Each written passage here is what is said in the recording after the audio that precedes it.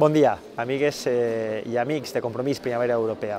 Eh, esta setmana, així, en Brussel·les hem tingut una setmana una miqueta tranquil·la. No hi havia reunions de comissions, tampoc hem tingut administració plenària, però tot i això no hem parat de treballar. I deixeu-me que me centre en una qüestió que és absolutament fonamental i és la que s'ha apoderat de la nostra actualitat. La nova tragèdia d'immigrants que han mort en el Mediterrani, en eixa mar que cada volta s'assembla més a un gran cementeri.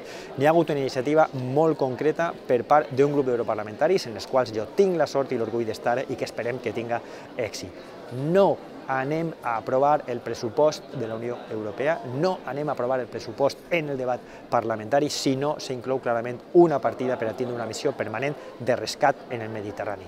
És absolutament fonamental. Estem farts de minuts de silenci, estem farts d'homenatges a posteriori. El que volem és seguretat. La Unió Europea no pot ser còmplice d'aquesta tragèdia. I els refugiats estan venint a Europa perquè en els seus estats, en les seues poblacions, no es pot viure, perquè tenen perill de morir o de fam o de guerra o de persecució ètnica o religiosa. I això no és tolerable. Per això no aprovarem aquest eh, pressupost. La iniciativa ha sorgit del nostre grup, del, del grup dels Verds. Ale, esperem que molts més diputats se puguen unir i esperem que pressionada la Comissió Europea reaccione. Ja està bé d'homenatges, ja està bé de tindre eh, pietat per una eh, gent que realment el que necessita és ajuda. No volem eh, misericòrdia, volem ajuda, volem respecte i volem sobretot salvar aquestes vides. No podem continuar amb aquesta vergonya a l'esquena.